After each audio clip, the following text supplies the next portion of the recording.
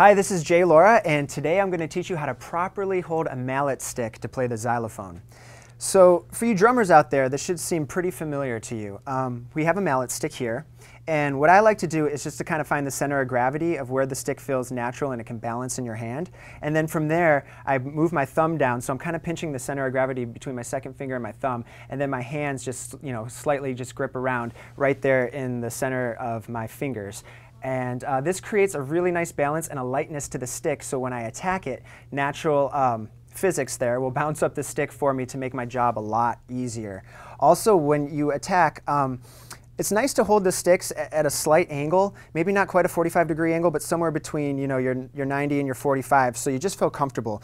You want your shoulders relaxed, you know, your arms down, and um, it's nice to, you know, just to have a nice range of motion. Like you probably don't want your stick going any higher than that when you attack. Um, there's no reason, you know, to go over your head or to go too lightly. So you just want a nice solid attack and something to feel comfortable and relaxed to you. So let's see what that would look like really quick.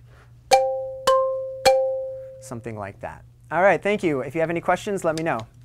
Hey guys, thank you so much for hanging with me today. Hope you enjoyed the video. Please check out my other videos on the xylophone. Lots of information there. And also send your requests